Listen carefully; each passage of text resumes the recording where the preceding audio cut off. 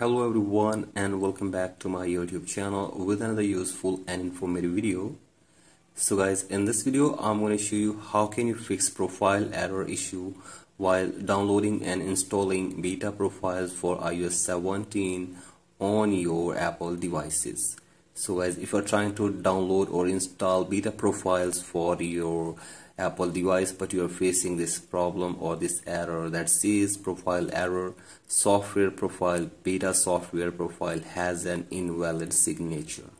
So guys as you can see this if I am trying to install this profile it gives a pop-up like this and it doesn't allow me to install the profile in the device. So guys if you're also facing this problem here I will show you how can you fix it so guys for that you have to simply watch this video till the end.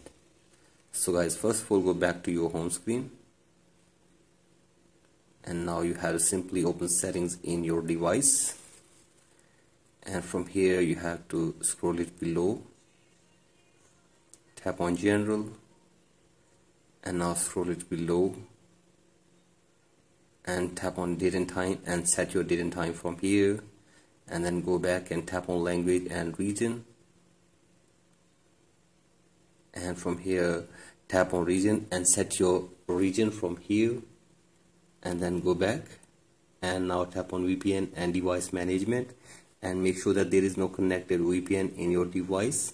And after this go back and now you have to scroll it below and tap on transfer reset iPhone tap on reset and reset your network settings of your device for one time as well so guys do this and check if the problem is fixed or not. And if the problem is still there then you have to go to your Safari browser.